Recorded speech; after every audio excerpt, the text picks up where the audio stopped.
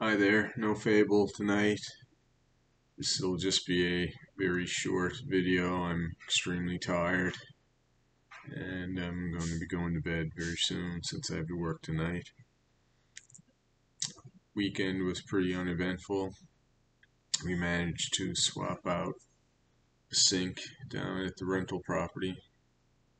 We're, uh, anyway, so that's one good thing that should fix a leak in the ceiling.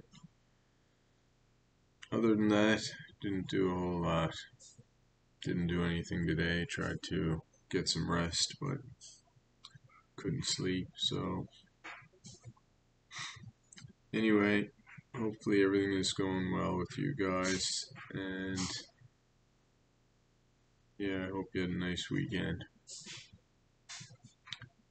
It's too bad we weren't able to get together, but